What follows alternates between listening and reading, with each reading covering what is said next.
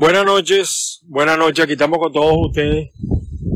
Échate una, ya yo me he echado dos, tres, pero vino. Hoy lo que he tomado es vino, hoy no he tomado otra cosa que no sea vino. Estamos aquí en el patio trasero de una casa en Jayalía.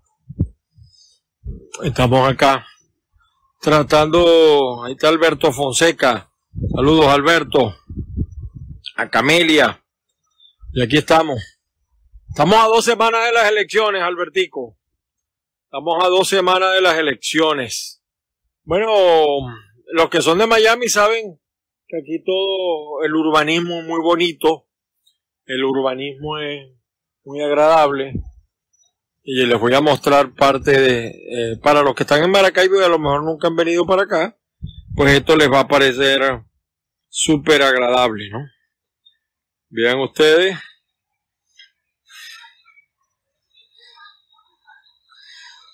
Esto es normal, absolutamente normal acá. Es decir, no hay nada eh, que la mayoría de las viviendas tengan esta facilidad. Esta es la casa de unos amigos y aquí estamos. Eh, estás en West Palm Beach. Yo viví allí los primeros meses acá, pero yo estaba en Riviera, en Riviera Beach. Eh, saludos mi hermano desde Dakota del Norte. No conozco Dakota del Norte. Debe estar, y aquí está empezando un poco el frío, un viento frío agradable, bien agradable. Está más o menos en, no sé cuánto será eso centígrados, 72, 70. Dice Ángel, van a haber sorpresas. Yo creo que sí. Yo no le voy a decir mentira, yo no creo en las elecciones venezolanas. Es decir, eh, saludos a Rafael Galicia, creo que está allí Rafael Galicia o Galicia. Sí, debe ser mi hermano del alma, Rafael Galicia. Eh, yo no creo, de verdad, yo no le digo a nadie que vote o que no vote. Eso es una decisión personal de cada uno. Sin embargo, yo no creo. Hoy estaba viendo un trabajo de una abogada venezolana graduada en una universidad de Nueva York, por cierto, y estábamos hablando un poco de esto. Daniel Silva no he logrado contactarlo, a Daniel Silva, por eso no, no está presente con nosotros acá. Bueno, aquí estamos. Eh, las encuestas que dicen, está ganando, sí, está ganando, en el caso del Zulia, está ganando Manuel Rosales. Pero mm, saludos a Padrón, abogado Paul Padrón, creo que fue mi alumno, sí. Desde Chile, hermano. Bueno, está. En Chile es verano, por cierto. Creo que va a ser más de lo mismo. Yo digo que Antonio Andrade, saludo, no puede haber. O sea, yo no creo que los chavistas sean tan bolsas, tan bobos, para montar, saludos a mi sobrino Ronaldo, para montar un sistema electoral donde ellos vayan a perder. Sobre todo en una zona fronteriza como el Zulia, que todos nosotros sabemos lo que implica. Pero además, déjenme decirles esto, la diferencia entre Rosales y Omar Prieto no es de 80-13 como salen algunos locos por ahí.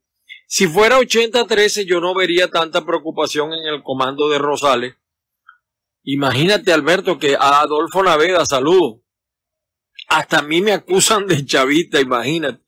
Después de tantos cierres que tuvimos en Venezuela, persecuciones, ataques. Entonces a uno, porque yo soy caiga quien caiga. Saludos a Alberti, Alberto. Eh, uno tiene que decir eh, la verdad. Y yo no la veo tan fácil. Sobre todo que el día de las elecciones hay que ver quién tiene gasolina, quién tiene para la movilización. Le van a llenar los tanques a los vehículos, eso hasta, hasta qué hora va a durar, si es que tienen gasolina. Así es, Alberto, a uno la el problema económico. Imagínate que tienen que repartir el dinero. Tienen que repartir el dinero desde el 15 de noviembre y no va a ser fácil. No va a ser fácil porque en Maracaibo hay feria. Maracaibo y San Francisco hay feria las maquinarias del chavismo están bien armadas. La crisis beneficia al chavismo, claro que sí. ¿Qué le pareció lo de Ocariz Uzcategui? El problema, Antonio, es que Uzcategui está ganándole a Ocariz. Pero es que ese es el problema del G4. Quieren, hablan de encuesta cuando la encuesta les favorece, pero cuando no le favorecen, no quieren encuesta. Eh, dice aquí Adolfo Naveda, huevón es el que cree que van a hacer la fiesta de 15 años de su hija y otros sectores. En el wiki, las bolitas de carne, quien pone los cobres de las elecciones la gana. Así es una situación difícil. Saludo a mi hermano Javier Bertels Jr., hijo de mi hermano Javier Bertel. ¿Cómo gocé con Javier Bertel? Todavía le debemos lo, dile, tu papá te debió esa deuda a ti, lo que le debíamos a Polo en la Universidad del Zulia. Y yo le decía, no, paga Javier, y Javier le decía que pagaba yo. Y ninguno de los dos pagó. Yo no sé si Polo todavía estará vivo. De verdad que no. Entonces es un problema serio, y sobre todo además que a la gente no se le está hablando con la verdad, Alberto. Es lo más grave, lo más triste. Por ejemplo, no se le está diciendo a la gente cómo es eso que se va a resolver el, el problema de la electricidad el problema de la gasolina. No hay, un gobernador no tiene. Eh, en San Francisco se pierde, gana el chavismo. Por cierto, me, acaban de dar una encuesta de San Francisco que no me gustó. Que no me gustó. Eh, me preguntan Juan Carlos y Rafael Ramírez. Mira, Rafael Ramírez es una persona buena gente. Eh, viene de ser chavista también, igual que Juan Carlos. Fíjate que los dos vienen del chavismo. Rafael es buena gente, amable, preparado, pero yo creo que no era su momento. Saludos a Joel Pantoja de Ávila Radio Online desde Austin, Texas. No era su momento, no era el momento de Rafael, a mi juicio. Eh, él está confiado en que el voto por Rosales lo ayude, pero es que este voto en Tubao es anticonstitucional porque es un voto donde tú votas pero no eliges. Además de que yo creo que el chavismo, el chavista pendejo al cielo no va, porque lo joden aquí, lo joden allá. Yo no creo que los chavistas eh, van a prever un sistema que a ellos los va a afectar. Saludos a Vicente Padrón, a Luis García. No lo creo, no lo creo. De todas maneras, vieron ustedes las declaraciones de mi voto será Manuel Rosales y Juan Carlos. Bueno, es tu derecho. Eh, pueden votar por Juan Carlos y por Rosales en la tarjeta de lápiz, del partido lápiz. Eh, vi las declaraciones de Marco Rubio, donde decía que era una farsa, y vamos a estar claros porque tampoco se lo dicen al elector. Después de las elecciones, ya, ya, ya ahorita, reconocieron a Nicolás como presidente. Los que están participando en el proceso están reconociendo a Nicolás como presidente. Eso es así lo están reconociendo como presidente. Ah, eh, eh, Henry Ramos puede decir lo que le dé la gana, pero eso es así. Y si después quedan electos gobernadores y alcaldes, ¿cómo van a llamar a Nicolás? Lo van a llamar dictador, como lo que realmente es.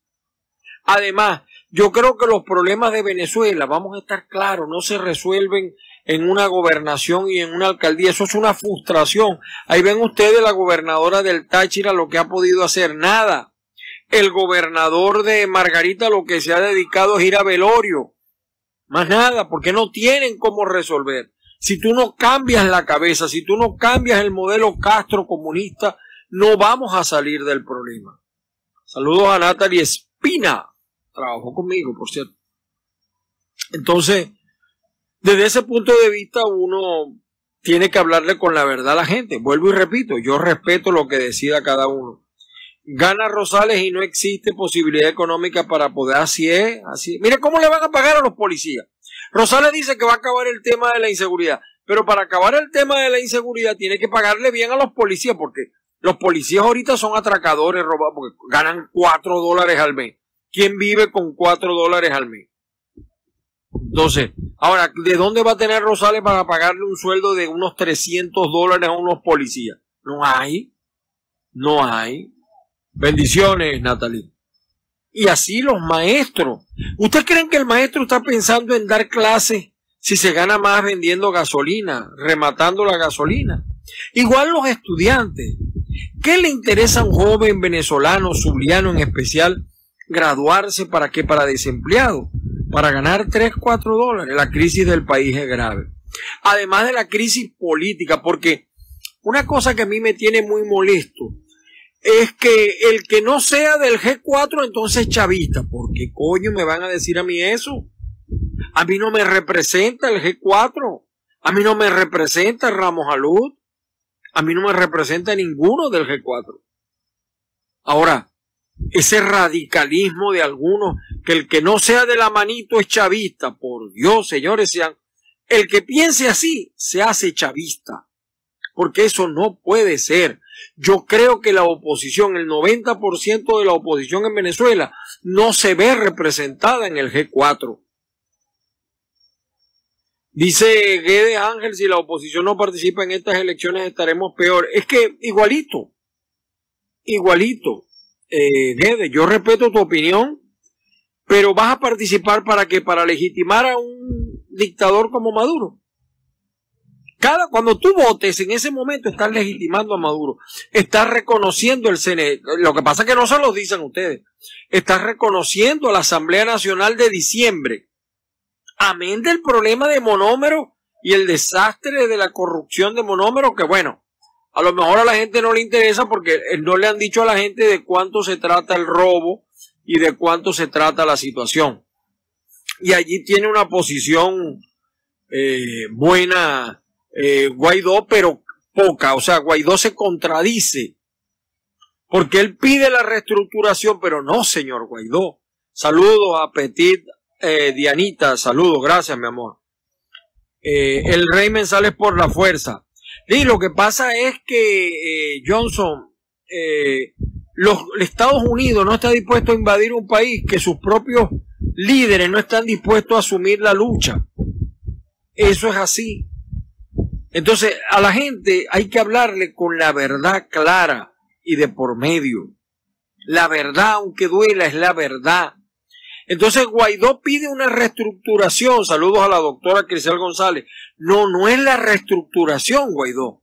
Los culpables del robo de monómero, los que acabaron con monómero, nombres, apellidos.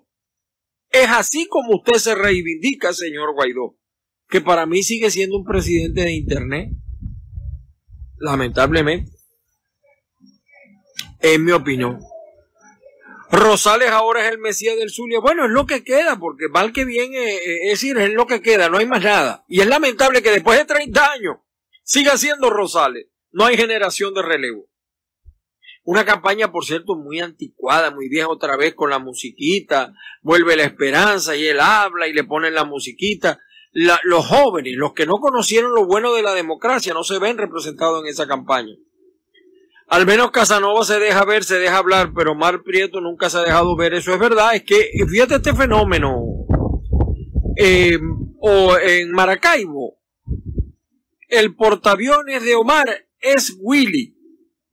En San Francisco, el portaaviones de Darwin es Omar. Eso me lo decía hoy un amigo de allá del Zulia, por cierto, y tiene razón. Tienen razón. Les recuerdo a todos ustedes que estamos los, de lunes a viernes a las 8 de la mañana en el canal de YouTube Factores de Poder.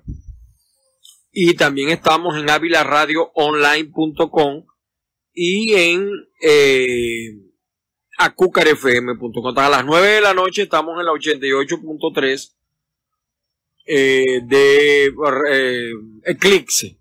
Y estamos ahorita que eh, a nivel de las plataformas Spotify, Google Podcast eh, y los podcasts también de Apple, eh, SoundCloud, Anchor. Estamos en todos esos podcasts. Estoy ahorita repotenciando la cuenta que tenemos en Spotify. A lo mejor este programa lo tiramos por allí, por Spotify. Bueno, ganaron los Bravos de Atlanta. Dice, verga, eso no son portaaviones, son casualidades. Bueno, causalidades sí, pero la gente como, o sea, a nosotros, nosotros no nos puede caer bien, pero dentro de lo malo, los chavistas ven en Willy una alternativa. ¿Entiendes? Así de sencillo, ¿no? Y es un tipo con el que se puede hablar. Yo no estoy de acuerdo con él, porque yo creo que Willy, eh, incluso Willy creo que es formado en Cuba, pero, pero por lo menos se puede hablar. El problema es que en el país, por eso es que yo me río cuando hablan de los alacranes, porque hay alacranes de frente y hay alacranes de espalda. Eso es así. Hay alacranes de frente y alacranes de espalda. Y no lo dice y no lo comenta. ¿Entiendes? Y nosotros sabemos que eso existe. Bueno, hoy es sábado. Hoy es sábado. Eh, por cierto que mucha gente dice, no, para ti es muy fácil porque estás en Miami. Alberto, es fácil estar aquí en Miami. Le pregúntenle a los que tienen más tiempo que yo acá. E, emigrar no es fácil. Emigrar es pa' macho, para que ustedes sepan. Lo que pasa es que uno no se pone a decir las cosas que sufre. Uno en Maracaibo, en el sur y en Venezuela, hay muchos líderes opositores que nunca han padecido. Pregúntenle ustedes a los candidatos del G4 si hacen cola para echar gasolina, si se les va la electricidad, si tienen que pagar el camión de agua 30 dólares semanales para tener agua en su casa, si sufren para tener comida las papas seguras tres veces al día. Muchos de esos líderes, que se llaman líderes, no han sufrido eso. Así que a mí no me vengan a hablar de crisis, porque nosotros no estamos de vacaciones aquí en Miami. Hoy hay una celebración de entre venezolanos que nos vemos de vez en cuando y, celebramos un poco para olvidar, pero la familia que tenemos allá, los que por las remesas ayudamos allá en Venezuela, no es fácil. Eh, hay cosas que, miren, los primeros, eh, y no es primera vez que yo emigro, por cierto, ¿no? Lo hice en una oportunidad y me regresé. Eh, si yo les dijera cómo viví los primeros seis meses acá, y, hay peores historias que la mía. Aquí hay venezolanos que han dormido debajo de los puentes, por decirlo de alguna manera, que han dormido en estacionamientos públicos, porque aquí no es fácil, aquí nadie viene de vacaciones. Ah, lo que pasa es que hay mejores condiciones, sí, hay empleo, sí, hay oportunidad, sí, pero también hay estafadores, hay gente que se aprovecha de la tragedia, esto no es fácil, señores. Emigrar es pa' macho, pa' machos. Es más, yo le puedo decir, porque a mí me, a mí me gusta hablar siempre con la verdad.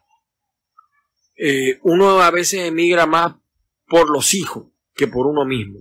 Porque ya yo tengo 58 años de edad.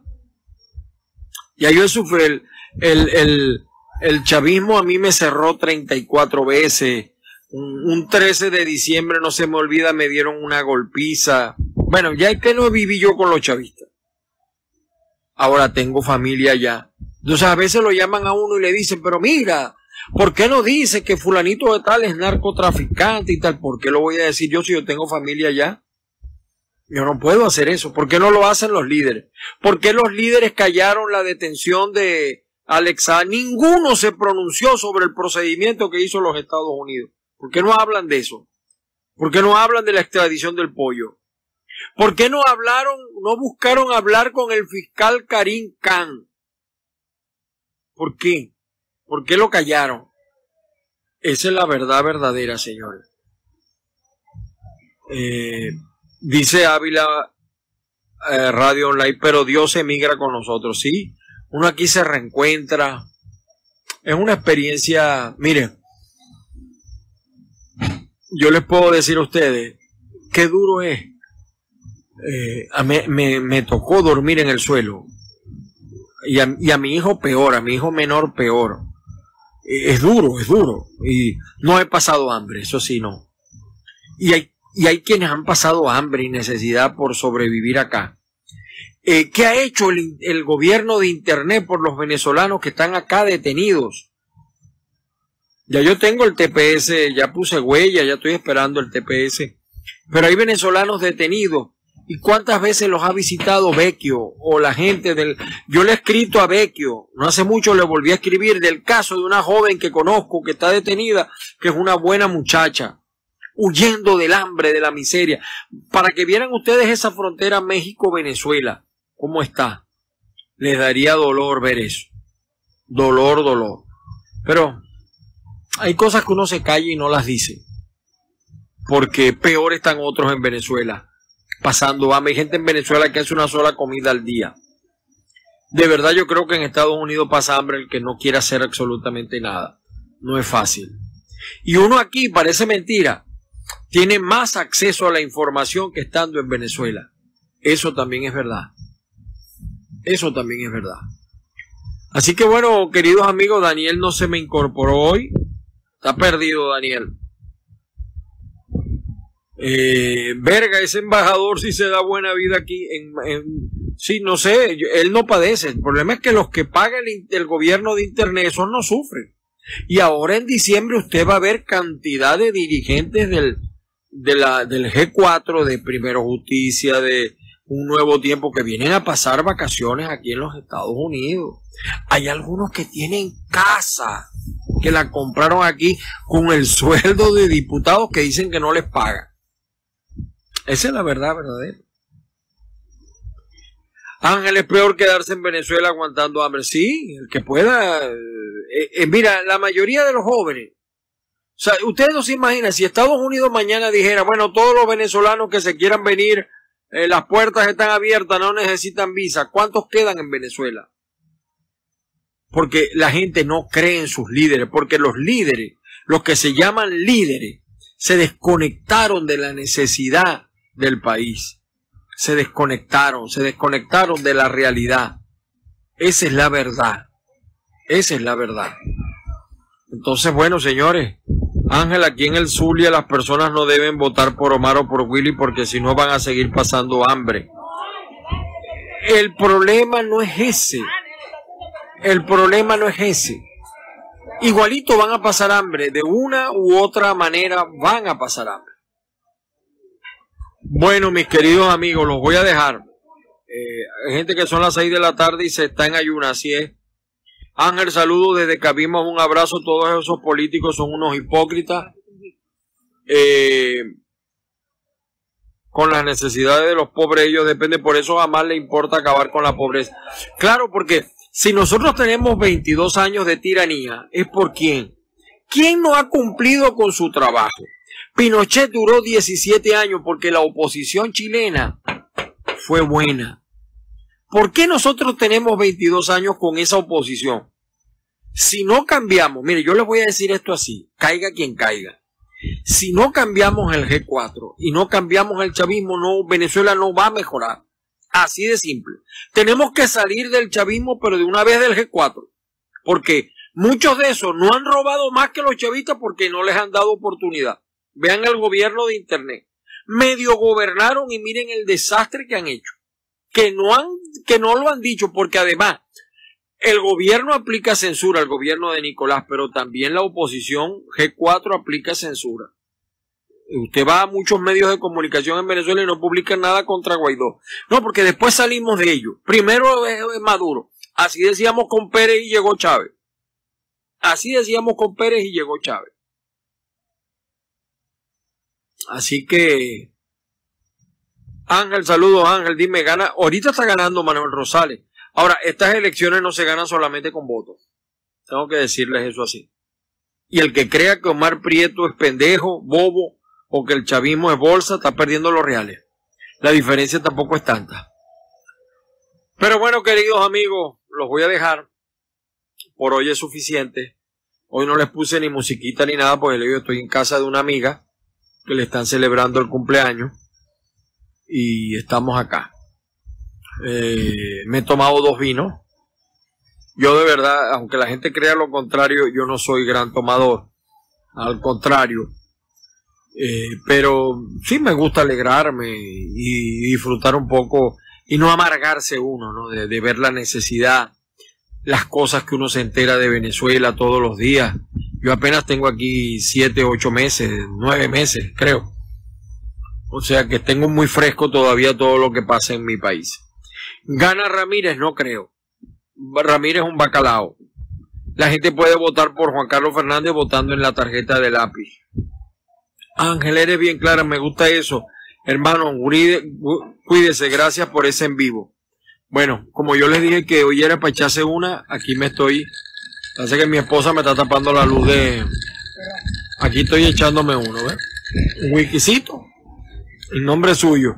No mi tipati Spiriti Santi. Feliz noche para todos. Nos vemos el lunes, 8 de la mañana, canal de YouTube Factores de Poder, avilaradioonline.com, acucarfm.com. Feliz noche para todos.